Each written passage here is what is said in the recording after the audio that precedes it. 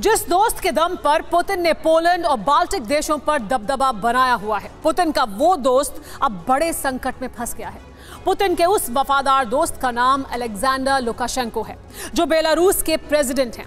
उनको लेकर पश्चिमी देशों की तरफ़ से खबर तेज़ी से फैलाई जा रही है।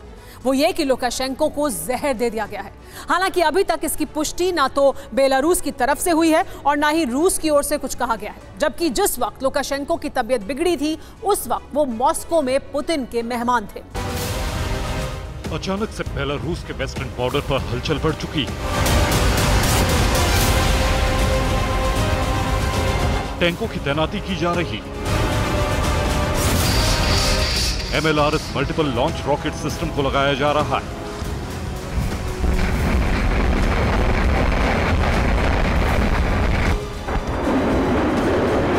बॉर्डर सील कर दिया गया है ज़्यादा सैनिकों को निगरानी के लिए लगा दिया गया है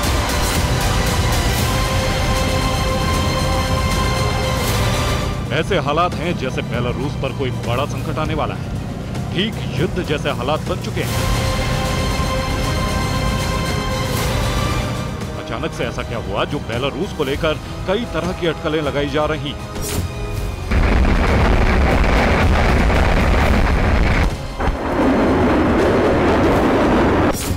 वेस्टर्न मीडिया में बड़ी तेज़ी से एक खबर फैली, जिसमें कहा जा रहा है कि बेलारूस के प्रेसिडेंट लुकाशेंको को जहर दे दिया गया है, जिससे उनकी तबीयत बिगड़ गई, वो कोमा में चले गए। हालाँकि अभी तक बेलारूस की तरफ़ से इस तरह की कोई बात सामने नहीं आई। ना ही रूस की तरफ़ से कुछ कहा गया है, क्योंकि लुकाशेंको आखिरी बार मॉस्को में दिखाई दिए उसके बाद उनकी कोई तस्वीर सामने नहीं आई, इसलिए किसी अनहोनी की आशंका तेज़ी से फैलने लगी। 9 मई को लुकाशेंको विक्ट्री डे परेड में दिखे वो काफ़ी बीमार दिख रहे थे। कुछ कदम चलने में भी परेशानी हो रही थी। लुकाशेंको ने विक्ट्री डे परेड में स्पीच नहीं दी, बल्कि बेलारूस के प्राइम मिनिस्टर ने स्पीच दी थी। 9 मई के बाद विक्ट्री डे लंच में भी लुकाशेंको नहीं थे।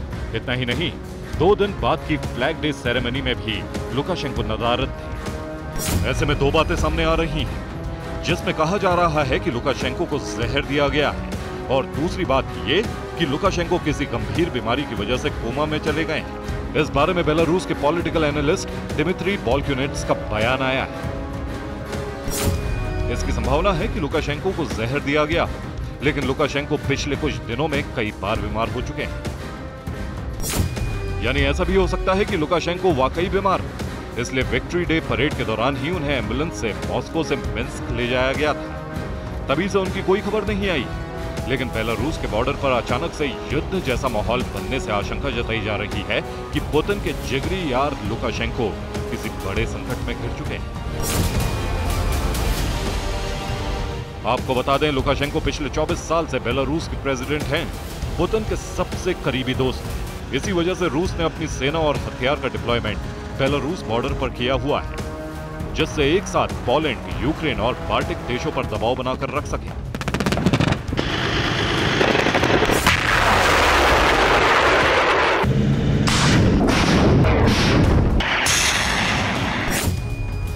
यही वजह है लुकाशेंको नाटो के टारगेट पर रहे।